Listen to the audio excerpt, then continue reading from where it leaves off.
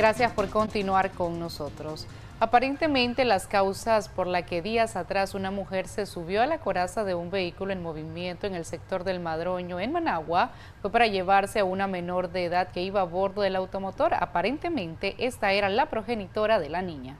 El video que se ha hecho viral en redes sociales donde captan a una mujer arriesgando su vida en la coraza de un vehículo no es pasional. Inicia según video publicado horas más tarde con la discusión de dos mujeres por la supuesta tutela de una menor de edad que en el momento se encontraba dentro del vehículo, como la señora de cabello rubio no logra sacar a la menor del auto.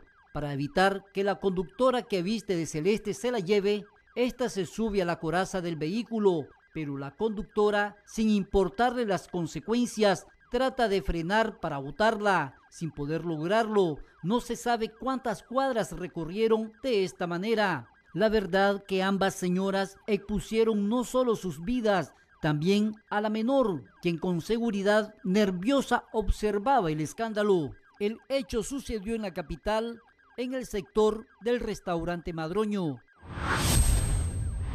Otro hecho registrado en la vía pública y que también circula en redes sociales es una enfurecida mujer que linchó al conductor de una motocicleta. Aparentemente tienen algún vínculo familiar.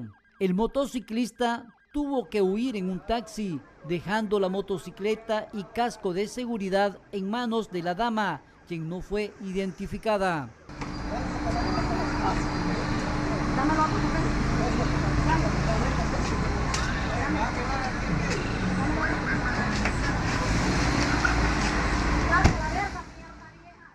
José Abraham Sánchez,